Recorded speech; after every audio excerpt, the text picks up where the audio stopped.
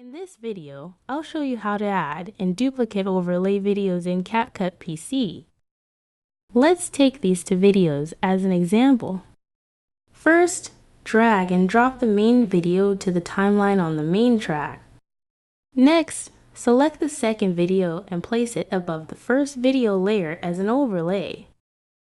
In the preview screen, resize the overlay video by dragging its corner to make it smaller than the main video.